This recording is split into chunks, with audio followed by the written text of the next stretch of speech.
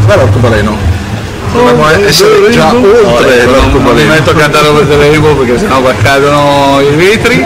E presentiamo però il film della settimana prossima che si intitola Judy, è dedicato a Judy Garland, la protagonista di questo film e di tanti altri, figura iconica nel mondo del cinema e di Hollywood di quei tempi, ma una personalità tutt'altro che eh, scontata. è molto tormentata, morì giovane, diciamo 49 anni, problemi di alcolismo, matrimoni, divorzi, sofferenze, figli da, da vari mariti. Il film rievoca gli ultimi periodi, eh, l'ultimo una tournée in Inghilterra nell'ultima fase della sua vita, che però è anche un momento, non è un film triste perché è un momento anche, anche importante per lei.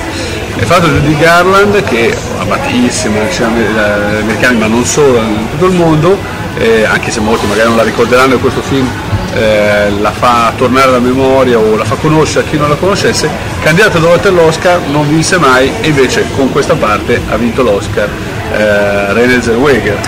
Renzel Weger che è in un ruolo tutt'altro che facile perché eh, non solo la somiglianza fisica ma la voce anche richiedeva un grande impegno per raggiungere i livelli appunto in cui- di cui ricordiamo tutti quanti la bravura, la capacità. E secondo me fa un ottimo lavoro, soprattutto a livello vocale, perché riesce sia nelle canzoni, che non era affatto scontato a, a renderle bene, ma anche proprio, proprio nel, anche nel limite del- di questa donna un po' sfatta, poi rovinata dall'alcol, dai dolori, riesce a rendere con questa voce un po' che potrebbe sembrare all'inizio anche un po' fastidiosa, ovviamente, soprattutto se uno la sente in lingua originale, ma anche devo dire nel doppiaggio è stato fatto un ottimo lavoro da questo punto di vista, a rendere questa voce un po' di donna un po' ehm, come dire, piegata alla vita, ma al tempo stesso anche molto infantile. Una voce eh, riesce a rendere questa, quel lato anche tenero, ingenuo del- del- di questa donna che era.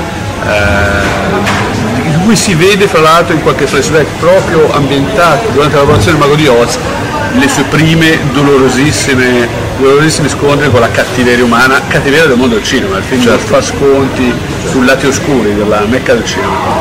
È comunque un'occasione da rivedere per chi ha amato il Mago di Oz, per chi non lo conosce e magari gli verrà voglia di vederlo in, eh, in questo film e per fare anche dei paragoni tra la voce di René Zellweger e la voce di Judy Garland.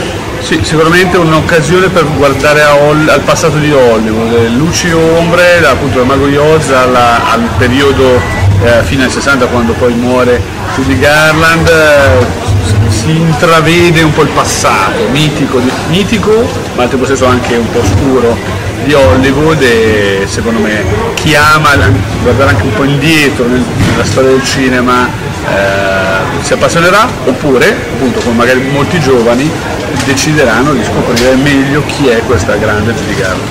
E ne rimarranno alquanto sorpresi. Quindi l'appuntamento è lunedì prossimo, che ne abbiamo, ricordo, 24? 24. 24 Il 24 febbraio, febbraio, 24 qui a Notorious Cinemas in Viale Sarca a Milano. ore 21, doppio appuntamento, versione doppiata, versione originale con sottotitoli e ovviamente Vi aspettiamo. non mancate.